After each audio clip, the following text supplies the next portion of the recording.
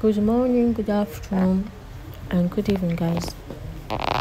Depending on where you are now, welcome back to my channel. To get more this, please kindly click on the subscribe button. The Nigeria Police Force (NPF) has arrested Udu Yunusa Ari, the suspended resident electoral commissioner, over his conduct during the governorship election in Adamawa State. Muyiwa Adejobi, first spokesperson, in a statement on Tuesday, said Ari is being gripped by the police.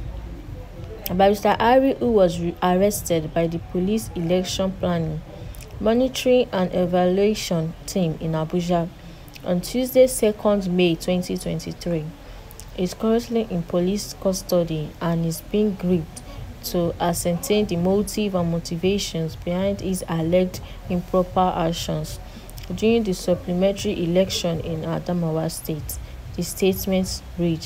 In addition, another officials and individuals culpable in the saga are being interrogated by the team.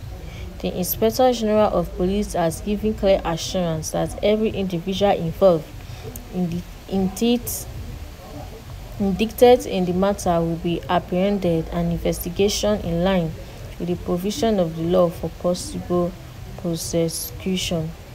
The Inspector General of the Police has assured the public of the commitment of the force to ensure that justice is served in this case and that all guilty parties are brought to justice.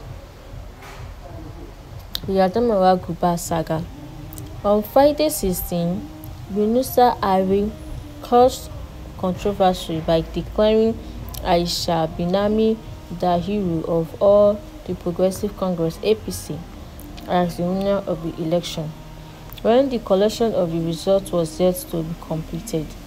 The Independent National Electoral Commission (INEC) declared the announcement null and void and summoned the REC to its headquarters in Abuja.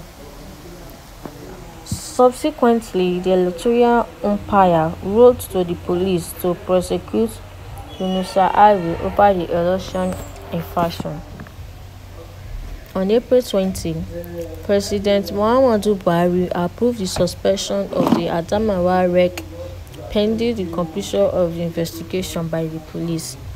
Recently, an investigation panel set up on the in incident inviting the suspended REC. Early on Tuesday, Yunusa Ari said he does not regret announcing Binani as the winner of the election, adding that he wasn't offered money to make the announcement. Thanks guys, this will be stopping for today. For you to get more updates about the channel, please can you click on the subscribe button and don't forget to give us a like, comment and also share this video. Thank you.